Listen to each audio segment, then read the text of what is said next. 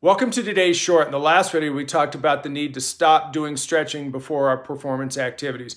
We said that if you did specific strengthening activities, you'll actually be able to walk in in the first minute of your performance and be able to hit, throw, kick, or punch with greater power and speed. So we're going to focus today on the muscles that activate or turn on and control the rotation around three body segments.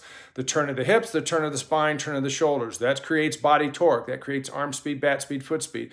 But be careful. Not every activity turns on the muscles that connect to the hip, spine, or shoulders actually rotates them. There's a lot of muscles will actually flex and extend rather than rotate them. So we want to create and control rotation around those three body segments, all right? In the next few videos, we'll come back and we'll break out specifically for the turn of the hips, turn of the spine, turn of the shoulders. We'll show you how to turn them on, activate them, and get the most out of them so your performance improves immediately.